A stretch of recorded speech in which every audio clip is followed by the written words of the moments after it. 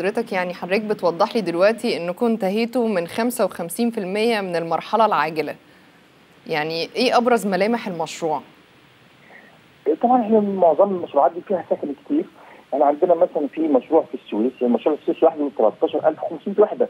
والحمد لله يمكن يمكن السويس وصلنا لنسبة تنفيذ تجاوز 70% عندنا في آه راس البر في دمياط.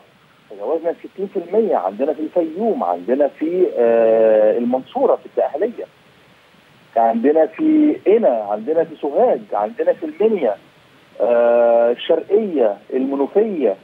كل دي محافظات والتأثير بكلمك على محافظات إيه؟ ما بكلمكش على اسكندرية ولا القاهرة ولا الجيزة عشان دايما بنتهم أنتوا دايما باصين على المحافظات المركزية وناسيين الأقاليم، لا إحنا بادئين الأول المرحله العاجله بتاعتنا منتشرين بره الأول وبعد كده إن شاء الله بقية ال 27 محافظة هنكمل فيهم شغلنا بإذن الله. إن شاء الله باشمهندس يعني بعيد عن عواصم المحافظات وصلنا لحد فين في تطوير حدائق الفسطاط ومشروعات تطوير القاهرة طبعا.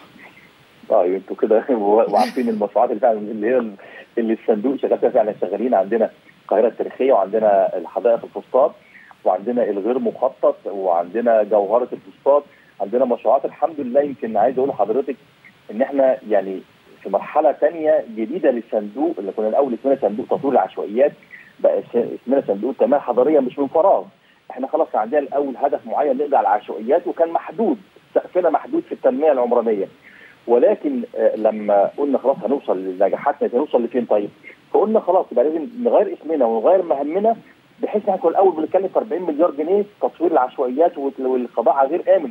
النهارده إحنا بنتكلم هنتجاوز 900 مليار جنيه مهام الصندوق حاليا فيها. منها المحافظات والحدائق الفسطاط. حدائق الفسطاط دي إحنا على 500 فدان يمكن الناس شافت وحضراتكم نقلتوا جزء من صور لصلاة العيد في ساحة عمرو بن العاص. ساحة عمرو بن العاص مسجد عمرو بن العاص داخله في حدائق الفسطاط لتطويرها تبع الصندوق. الموضوع كله 500 فدان وكان يمكن المرحلة الأولانية اللي الناس شافتها قبل كده. اللي هي بحيرات عين السيرة، بحيرات عين السيرة شافت الناس بتحضر شكلها عامل إزاي كانت فين وبقت فين. وعندنا متحف الحضارة جوه ال 500 فدان. وبعدين هيبقى عندنا منطقة مغامرات، منطقة ألعاب، منطقة فنادق، منطقة تسويقيه، food court، كل الحاجات دي موجودة في فدان على مستوى عالمي، إحنا حتى دلوقتي بنأهل عشان نشوف شركات عالمية لإدارة هذا المشروع. إزاي نجيب شركة؟ ممكن تبقى شركة مصرية بس على مستوى عالمي بتدير مشروع على حدائق مركزية ل 500 فدان عشان الناس تقدر تستمتع بال... بال... بالاستدامة لنجاح هذا المشروع، المشروع هيتكلف مش لم يقل عن 6 مليار جنيه.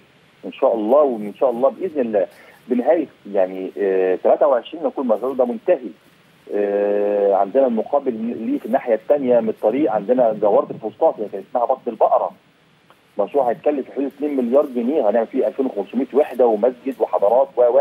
الحاجات دي كلها بنعملها. إحنا زم... لما قلنا زمان بنعمل نقط إشعاعية للتطوير زي ما كانت الأول عبارة عن خلية جرثومية اسمها العشوائيات وبتنتشر في بدن ال... الكيان المصري لا إحنا بنعمل نقط إشعاعية بتشع تطوير حضري على مستوى المنطقة اللي إحنا فيها. يعني قلنا الأول قلنا آه سيدة زينب عملنا روضة سيدة بدل تل العقارب وهنعمل خمس مناطق في سيدة زينب ومثلث نسبيرو أرتيديا ميدان التحرير